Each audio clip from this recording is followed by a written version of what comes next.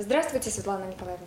Здравствуйте. Светлана Николаевна, ну в вашем университете сейчас горячая пора, наверняка не потому, что лето на улице. Скажите, как проходит вступительная кампания?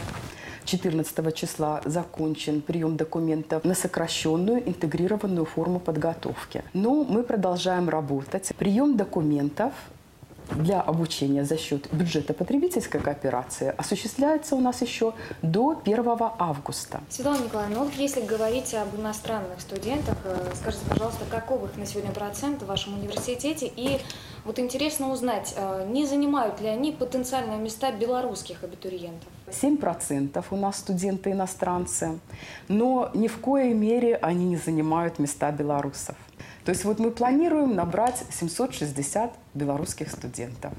А наши студенты, которые поступают нам из стран ближнего и дальнего зарубежья, они, этот контингент формируется уже за пределами этих контрольных цифр приема, за пределами плана приема. То есть по, по отдельной да. линии, так сказать, Я считаю, что это наше преимущество, что так много иностранных студентов у нас обучается, потому что в рамках общения в студенческой среде происходит э, наработка коммуникативных связей. Это позволяет в дальнейшем развивать интенсивно внешнеэкономическую деятельность Республики Беларусь, потому что, сами понимаете, вот, например, в одной группе обучался белорус и таджик. Они становятся друзьями.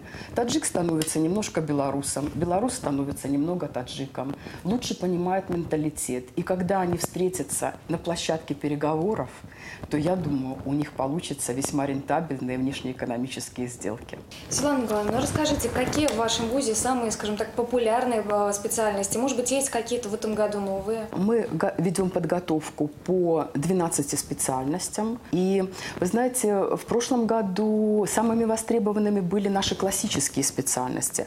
Это экономика и управление на предприятии.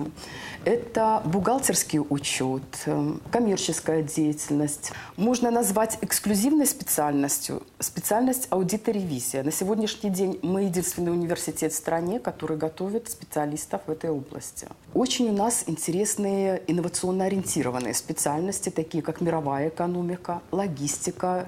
Это специальности, которые востребованы не только на внутреннем рынке, но и на внешнем рынке. Светлана Николаевна, ну вот к слову об инновациях. Я думаю, что вы согласитесь а, с тем, что современные технологии сегодня приходят во все сферы нашей жизни, в том числе и в сферу образования. Вот ваш вуз в этом плане чем может похвастаться? Мы в настоящее время себя позиционируем как инновационный университет, который соответствует всем европейским стандартам. И это достаточно обоснованно. Мы одними из первых в республике широкомасштабно перешли к внедрению инновационных образовательных технологий и, в первую очередь, дистанционных образовательных технологий. Уже третий год мы осуществляем набор на заочную, в том числе дистанционную форму образования. В этом году, кстати, прекрасная возможность появилась обучаться дистанционно и студентам второй ступени. Это наши магистры, могут обучаться дистанционно на двух специальностях. На специальности логистика и на специальности экономика и управление на предприятии. Мы понимаем, что мы университет 21 века и делаем все для того, чтобы мы были действительно инновационным университетом. Светлана Николаевна, ну, обучение – это все-таки не единственное направление деятельности нынешних э, высших учебных заведений. А, все-таки реализуется и множество проектов за учебным процессом. Вот а в этом плане какие проекты реализуются в торгово-экономическом университете? Знаете, я бы даже сказала, что это не за рамками учебного процесса, потому что мы практика-ориентированный университет. Например, э, чемпионат «Молодежь в предпринимательстве». Уже много лет этот чемпионат проходит на базе нашего университета. Мы в свое время выступили инициатором этого чемпионата. И э, вы знаете, вот действительно студенты ощущают свою причастность к экономической жизни нашей страны, нашего региона. Для них очень важно, что чемпионат молодежи и предпринимательства проходит в рамках экономического форума. И это прекрасная возможность нашим студентам общаться с бизнес-сообществом, получать незаменимый практический опыт. И бизнес-сообщество всегда на острие событий.